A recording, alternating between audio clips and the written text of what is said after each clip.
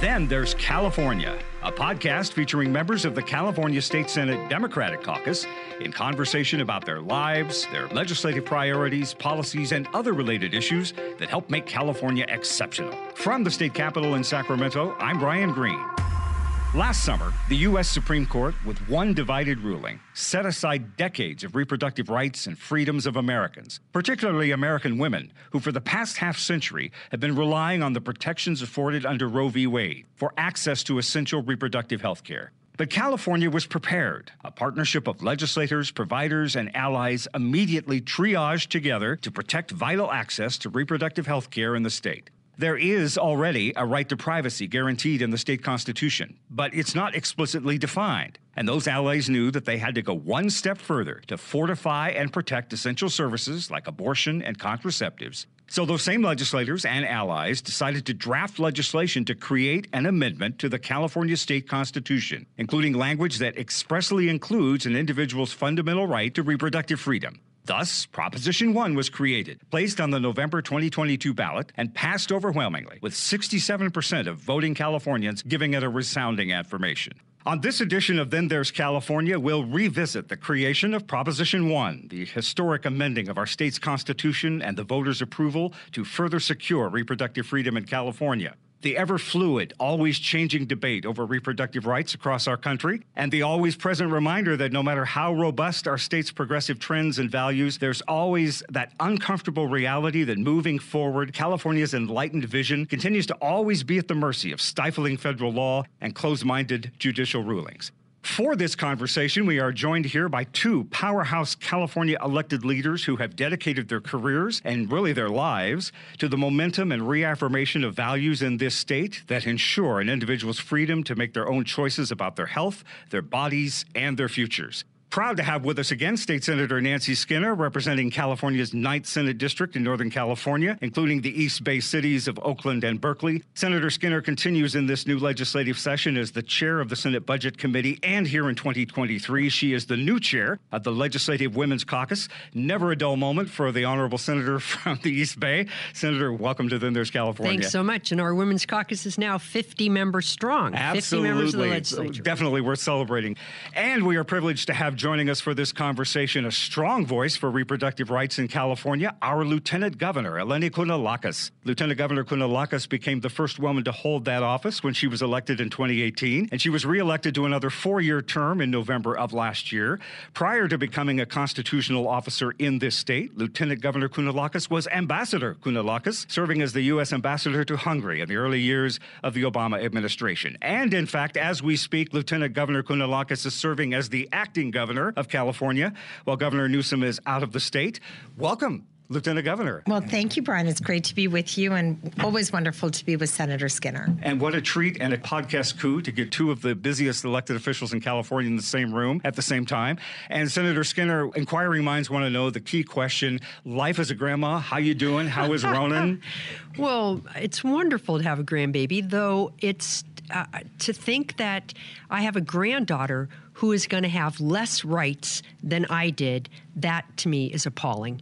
And we are putting every bit of effort in, we all of us Californians, and the lieutenant governor included, to fight back on this assault on women. Thank you for sharing that. Lieutenant Governor, welcome. And eh, I guess we can call you acting governor too. Is that kind of a heady thing to be in charge of the state?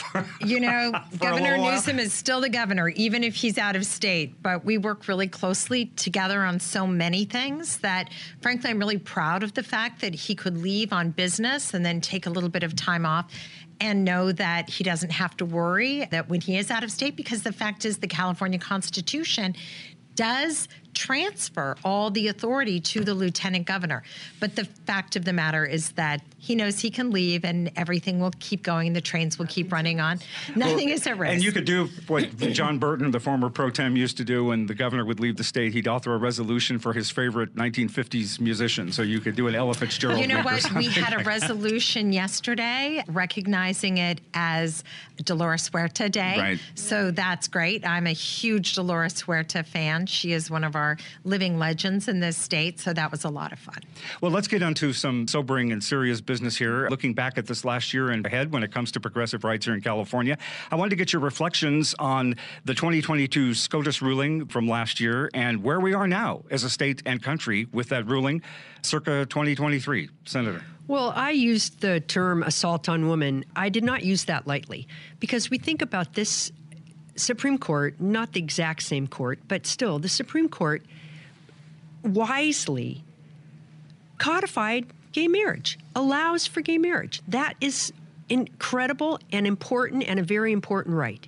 But meanwhile, the one thing that allows women to have full bodily autonomy, they deny they deny by reversing the decision around Roe v. Wade.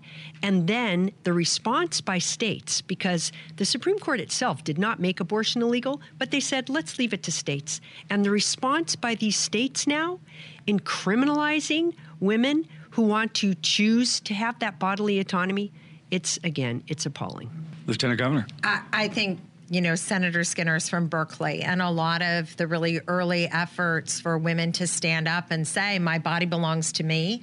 I know that I have control over my body. I'm not going to let the government or the people in power, who certainly back when Roe was first established, you know, they were not going to let that power infrastructure take that or tell them that they didn't have control when they knew viscerally as a human being that it's their body, their choice.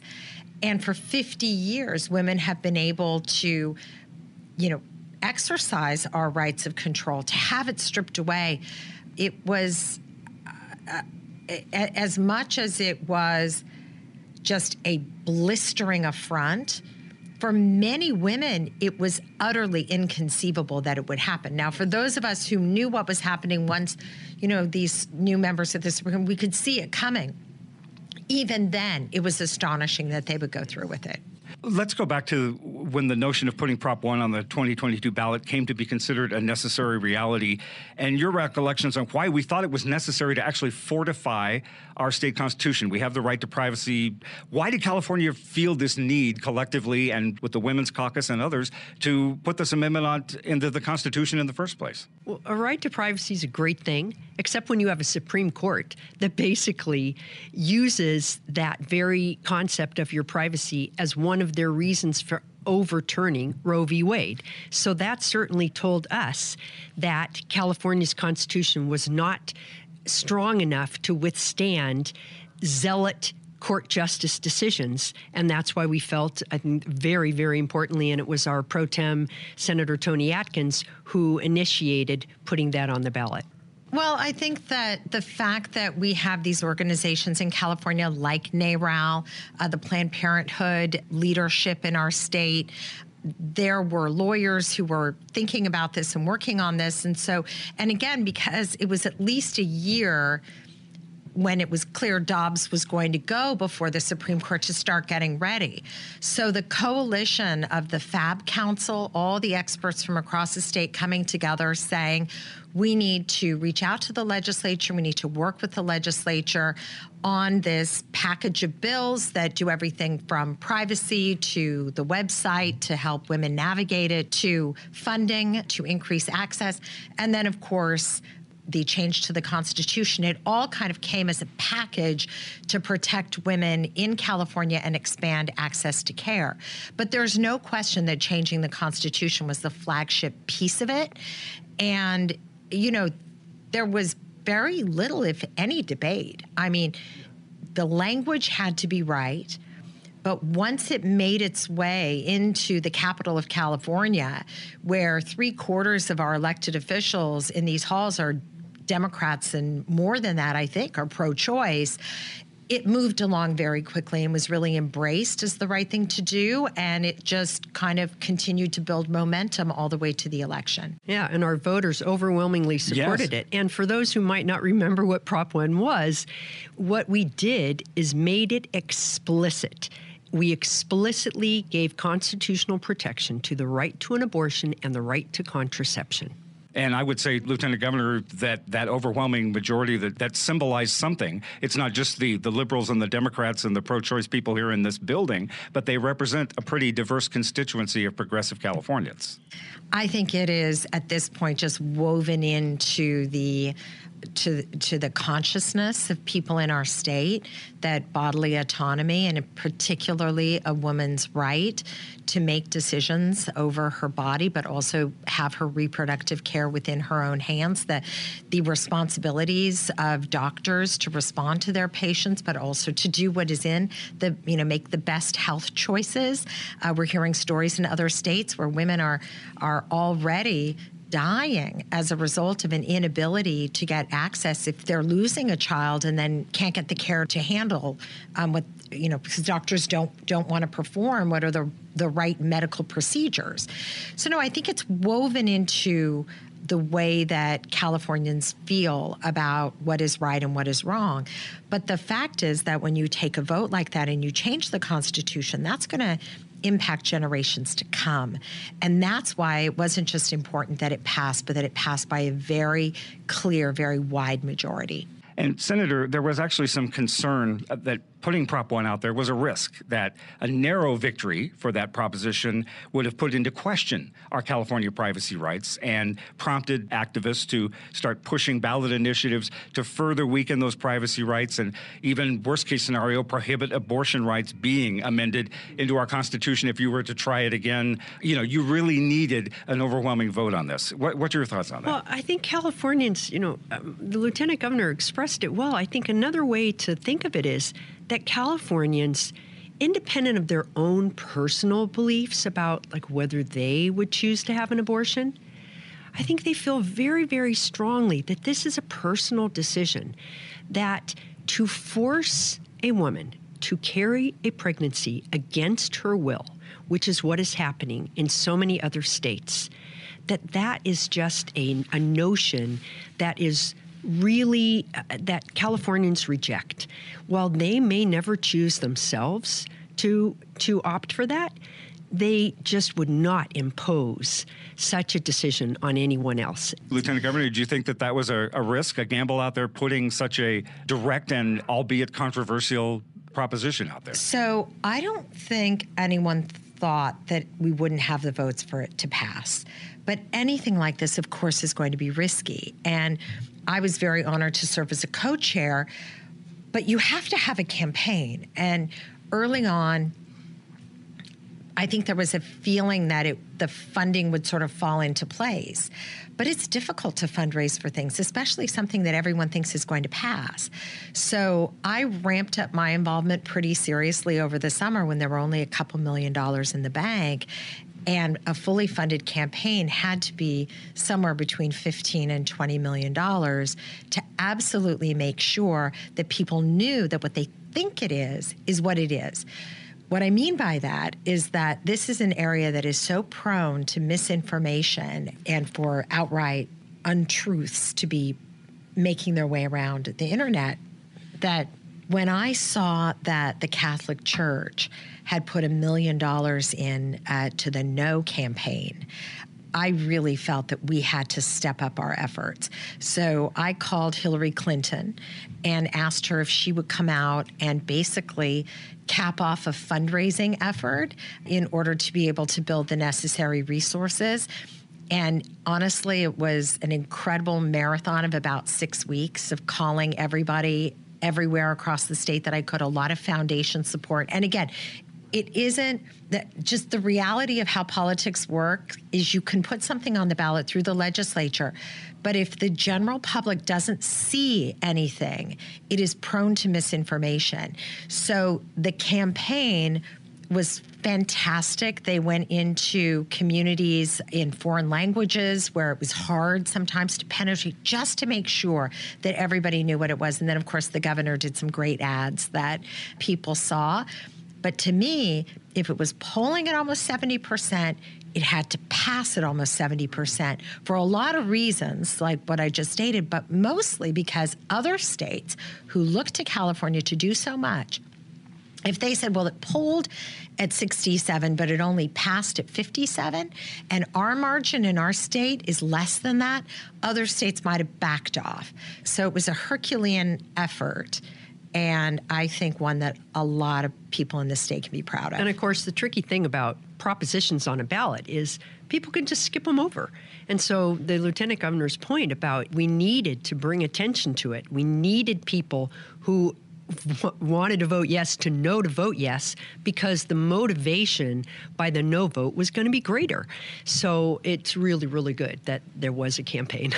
well, Lieutenant Governor, you used the term Herculean, and California has also, since last year, engaged in this Herculean and humanitarian effort in securing and funding and promoting its status as a sanctuary state for women seeking abortion services from other states where their rights are less, punitive restrictions on reproductive rights. Talk about the significance significance of that from last year and moving forward of California's role as a sanctuary state in the wake of those restrictive laws that are popping up all over the United States, and how our state's values become that much more important to women from other parts of the country.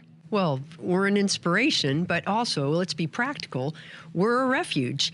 And Lieutenant Governor pointed out this group, the FAB Council. That's the Future of Abortion Council. It's an incredible coalition of many, many reproductive justice organizations who came together, and the Women's Caucus worked with them. And last year, we passed over 15 bills that were signed into law that expanded abortion access, expanded contraception access, supported the health practitioners, provided legal protections, provided funding for women who may need to come here from another state, did all of that. But of course, we found even additional work that we need to do now to shore up and protect medication abortion, for example, with this recent Texas decision, and to do further privacy things because unfortunately, you could use a period app and it would track on your phone when your period is happening, and you could live in Texas and they might then try to, if you came to California, they might try to use that information from your phone to prosecute you. And so we wanted to make sure that that information could not be accessed from phones and that you would be protected legally in California. A practitioner was protected, a patient was protected. So all of those things, we not only passed laws last year, but we have a whole other set of laws that we are trying to get through this year. And yes, I think and, we'll it, and with the Attorney General's help as well, it's a pretty aggressive package yes, last year aggressive. and this year. Yes. Your, your response on that? Well, it, it's just fantastic what the Senator and her colleagues are doing.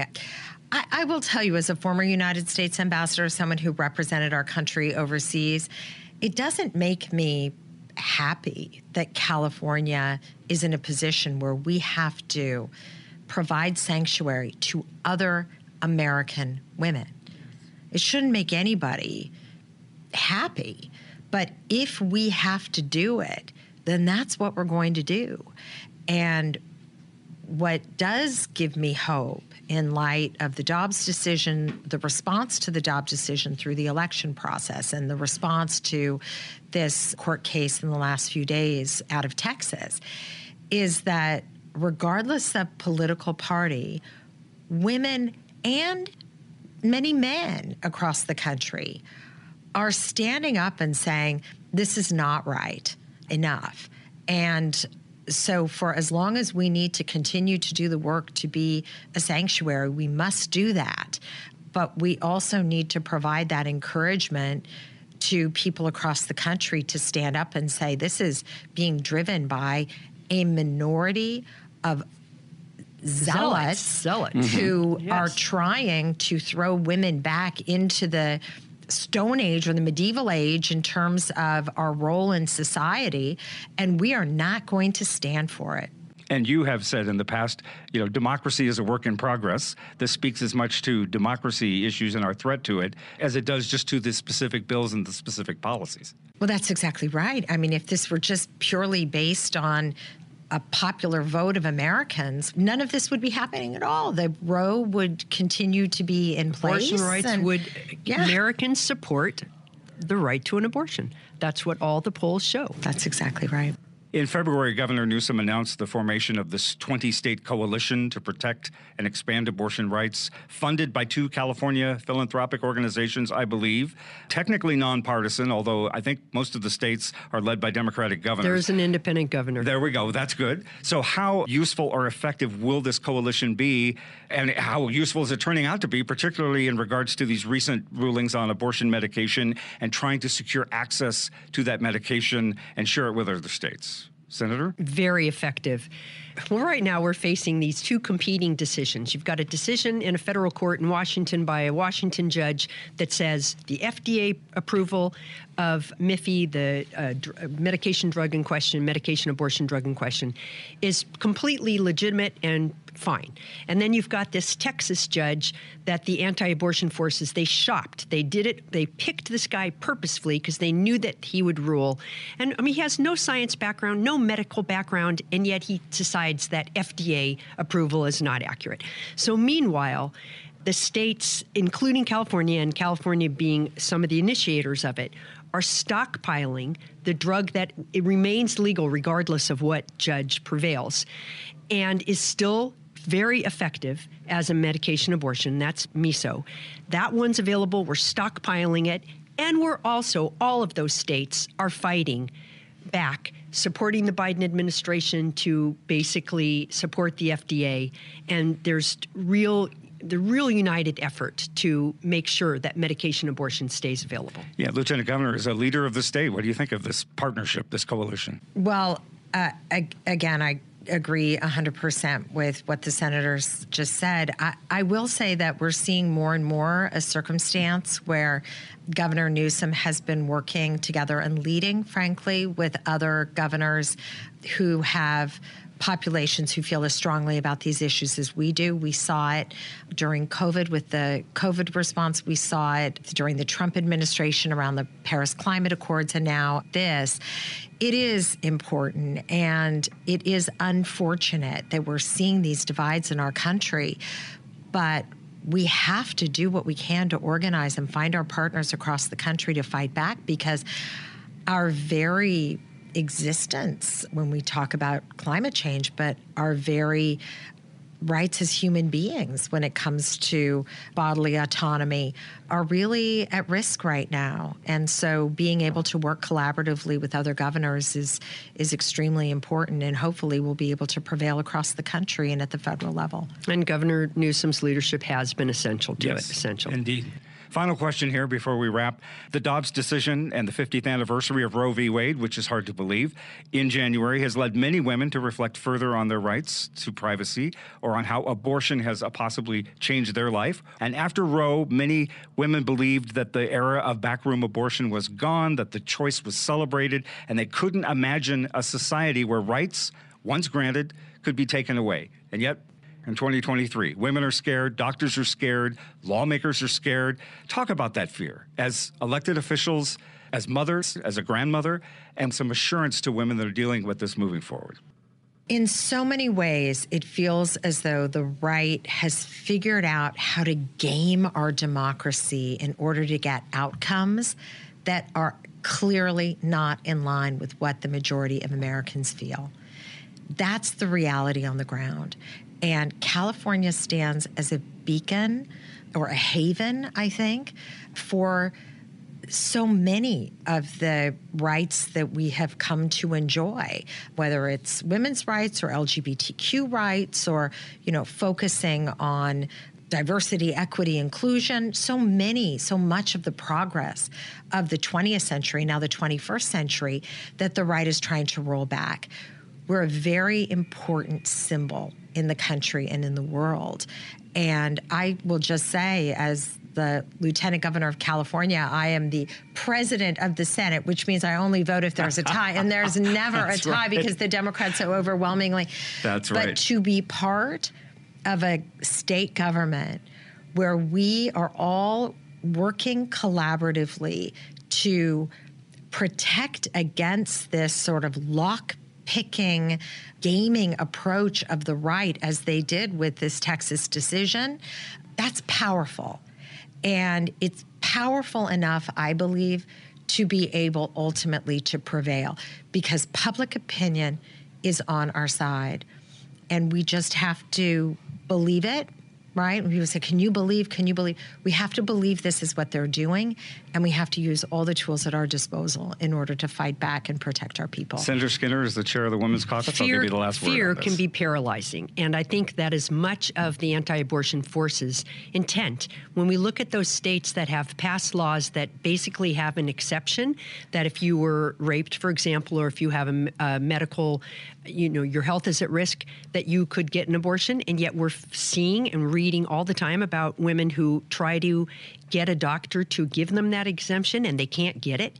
So then this terrible fear. And again, it's this paralyzing.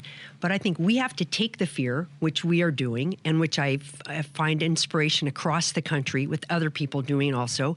Take that fear, put it into anger and action. Not just anger, but action. So do things like Wisconsin vote that approved a Supreme Court justice in Wisconsin right. that is going to uphold right. these rights instead of reverse them. And we're, we're seeing it across the country, and let's just keep it going. Let's keep that momentum. Thank you both for your time. I'm sincerely privileged to have both of you here to discuss this with your leadership collectively here. I know California is in great shape. Thank you, Senator. Always glad to have Certainly. you back. Hope Great. we can do this again yes. soon. Lieutenant Governor, it's really a pleasure. Thank, Thank you so you for much. having me. State Senator Nancy Skinner from the 9th Senate District in the Bay Area, the chair of the Senate Budget Committee and the Legislative Women's Caucus, and the Honorable Eleni Kounalakis, the Lieutenant Governor and sometimes the acting governor of the state of California.